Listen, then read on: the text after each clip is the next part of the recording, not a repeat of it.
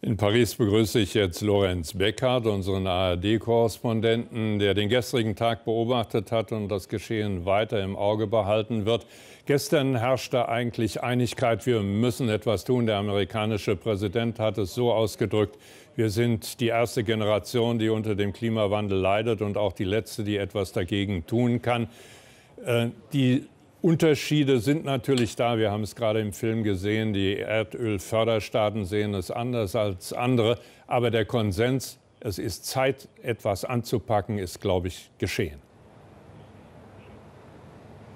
Ja, das ist sicherlich so. Also im Unterschied zu dem äh, Gipfel in Kopenhagen, ich habe seit 2009 äh, als Wissenschaftsjournalist alle äh, Klimagipfel äh, verfolgt, haben wir natürlich jetzt die Situation, dass die Staatschefs nicht am Schluss kommen, äh, gekommen sind, äh, kommen würden und dann vielleicht für ein Scheitern des Gipfels verantwortlich gemacht werden, sondern sie kamen am Anfang und sie haben jetzt natürlich den Verhandlern hier in Paris die Botschaft mit auf den Weg gegeben, wir wollen ein Abkommen. Natürlich jeweils unter den unterschiedlichen nationalen Rahmenbedingungen, dass es passt. Aber das ist die Botschaft, die ausgegangen ist. Und insofern herrscht hier sowas wie vorsichtiger Optimismus, dass das funktioniert.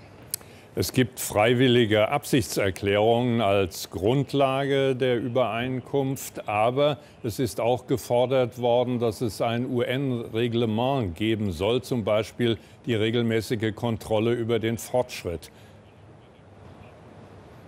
Ja, es wird sowas in der Art ganz sicherlich geben. Die äh, EU und die Industrieländer äh, haben ja die Position, dass diese freiwilligen nationalen Selbstverpflichtungen zum Klimaschutz alle fünf Jahre kontrolliert werden sollen. Und dazu muss es natürlich dann auch ein Gremium geben, sowas ähnliches wie vielleicht die internationale Energiebehörde oder die äh, äh Behörde, die den Atomwaffensperrvertrag kontrolliert. So wird es auch irgendeine UN-Klimakontrollinstitution geben müssen, die alle paar Jahre dann schaut, machen die Länder auch tatsächlich das, was sie zugesagt haben. Ich gehe aber nicht davon aus, dass das bereits in Paris hier beschlossen werden wird. Es wird auch in den zukünftigen Jahren, das ist leider so beim Klimawandel, weitere Klimagipfel geben müssen und da wird dann irgendwann diese Behörde installiert werden.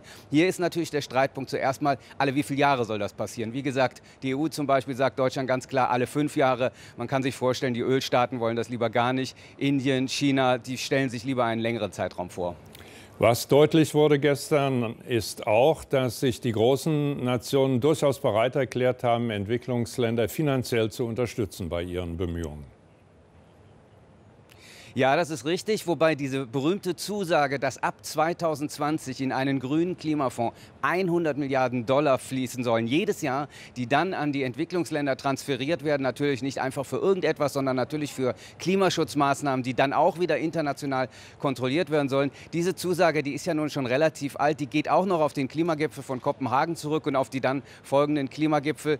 Äh, die Frage, die die Entwicklungsländer aber seit der Zeit all die Jahre stellen und die in Paris auch immer noch offen ist, ist, wo kommt das Geld her? Die Industrieländer sagen, wir haben eine Mischfinanzierung vor. Wir wollen natürlich staatliche Gelder, öffentliche Gelder, aber wir wollen auch private Finanzierung mobilisieren. So steht es in dem Text für das Abkommen drin. Und äh, die Entwicklungsländer misstrauen der Sache ganz einfach, weil sie sagen, okay, über die staatlichen Gelder habt ihr eine gewisse Kontrolle, aber wie wollt ihr die privaten Gelder eurer reichen Bewohner, eurer Großunternehmen, wie wollt ihr die mobilisieren? Gebt uns endlich einmal eine konkrete Idee, einen Fahrplan dafür. Und das ist, glaube ich, auch ein ganz, ganz großer Knackpunkt. Man, kriegt die Entwicklungsländer nur ins Boot und zur Unterschrift unter so ein Abkommen, wenn man ihnen klar macht, woher das Geld und wie das Geld zusammenkommen soll. Tja, und das muss bis zum 11. Dezember geregelt sein. Wird es geregelt werden können nach Ihrer Einschätzung? Was wird am 11. Dezember herauskommen?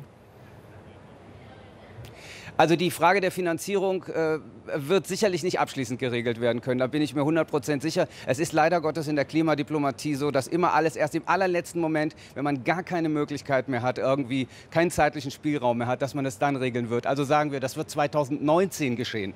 Äh, aber es wird sicherlich eine Formulierung geben in diesem Pariser Abkommen und ich gehe davon aus, dass es ein Pariser Abkommen geben wird, die den Entwicklungsländern einen, einen, einen, einen Pfad offen lässt, eine Perspektive gibt, dass sie da zustimmen werden. Es wird ein Pariser Abkommen geben, geben. Davon gehe ich schon aus. Äh, aber es wird ein sehr weiches Abkommen sein. Es wird ein Abkommen sein, das wird den äh, verschiedenen Nationen die Möglichkeit geben, das zu tun, was sie tun können, aber eben auch erstmal nicht mehr. Es wird drinstehen, alle wie viele Jahre das dann kontrolliert werden muss. Und besonders spannend wird natürlich auch sein, es wird wahrscheinlich ein sogenanntes Hybridabkommen werden. Das heißt, es wird einen Kernvertrag geben, den dann zum Beispiel in den USA, die, die man dann durch den Kongress bekommt. Und äh, die USA werden sehr stark darauf drängen, dass alle die Dinge, die, sie, die nicht durch den Kongress gehen, weil dort Präsident Obama keine Mehrheit hat, weil dort die Republikaner Klimaschutzmaßnahmen blockieren werden, die wird man in irgendwelche Anhänge dran packen. Das wird eine sehr komplizierte Sache sein. Und da sagen dann wiederum andere Nationen, wenn wir den USA so weit entgegenkommen, dass wir ein Abkommen stricken, das für sie völkerrechtlich so gebaut ist, dass es durch ihre nationalen Institutionen glatt durchläuft, dann wollen wir eine Gegenleistung. Und was wird die Gegenleistung sein? Geld. Lorenz Beckert, herzlichen Dank für die Interpretation des ersten Tages des Klimagipfels in Paris. Danke nach Paris.